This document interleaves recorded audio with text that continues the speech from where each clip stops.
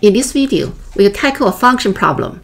The question is about the function f of x plus 1 over x equals x third plus 1 over x third, where x is not equal to 0.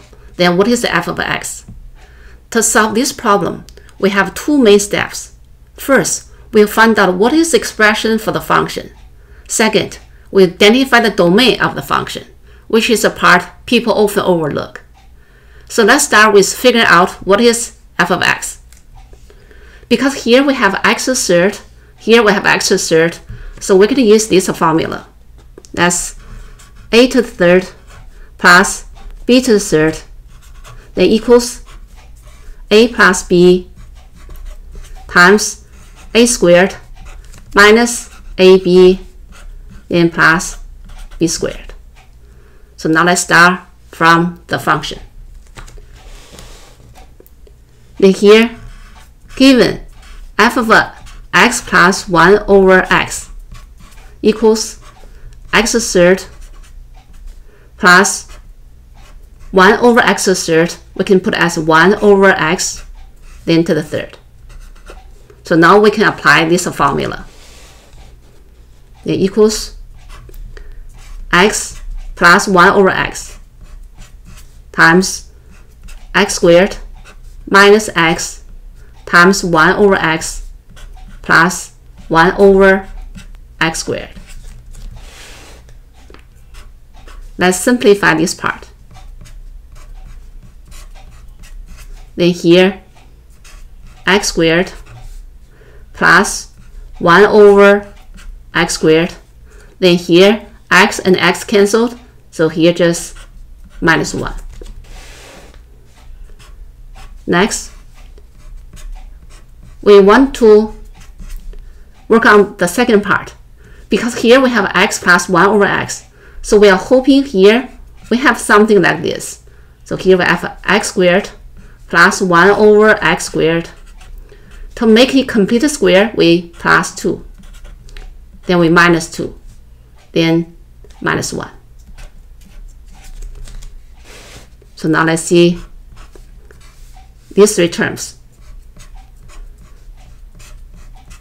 So these three terms can make a complete square, which is x plus 1 over x, the whole thing squared.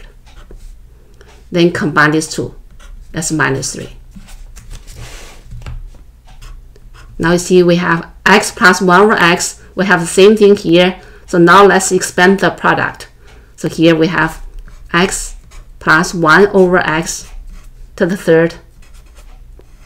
Then minus 3 times x plus 1 over x. So now let's use t. So now let the t equals this part, x plus 1 over x. Then use t replace this part from here and also here and here. So then we have f of t equals t to the third here, then minus 3t. So that's expression for the function. Now we need to figure out what is the domain of the function. So now let's go back to the beginning. You see here, this one is given. x is now equal to 0. This is now the domain of the function. This one just guaranteeing the bottom of the fraction is now 0. Then what is the domain of the function f? So here, domain of the function just represent all the possible values of t, so the function is defined. So because t is equals x plus 1 over x, so now let's start from here. Okay, here x plus 1 over x. That's t.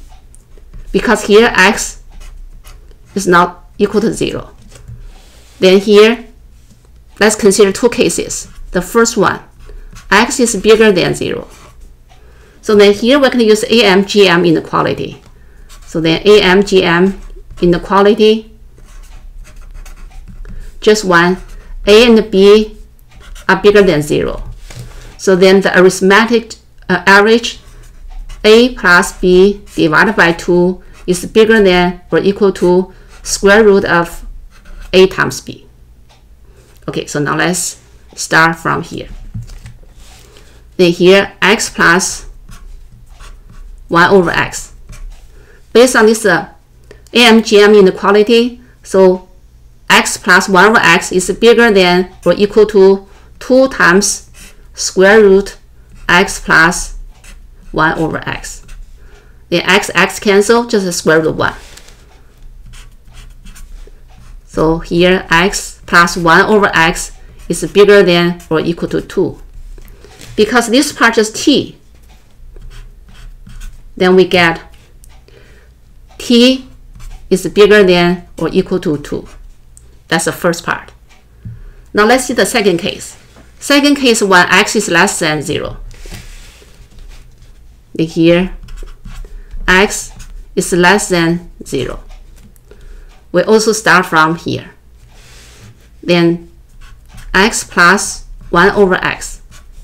Because whole thing is negative, so then if outside we put a negative, then we can do this. We can do negative x, then plus negative 1 over x.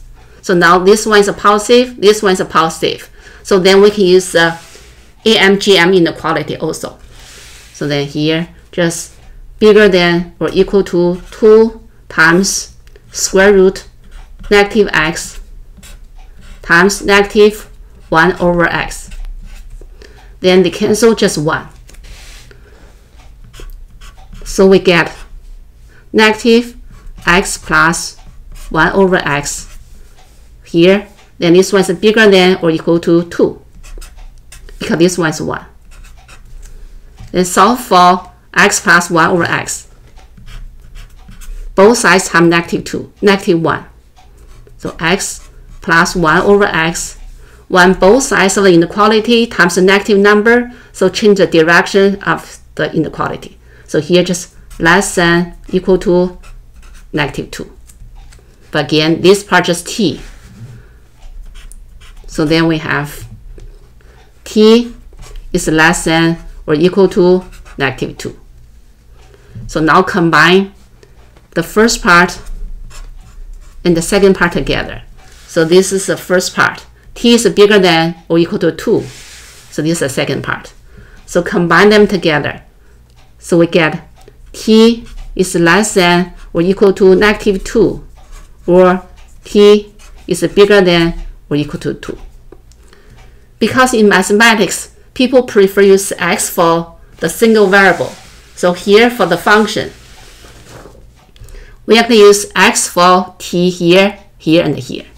So now let's see the summary. So then in summary, so here, then f of x equals x to the third minus 3x with a domain here, domain x less than equal to negative 2 or x is bigger than or equal to 2. So that is the answer for this question. Thanks for watching.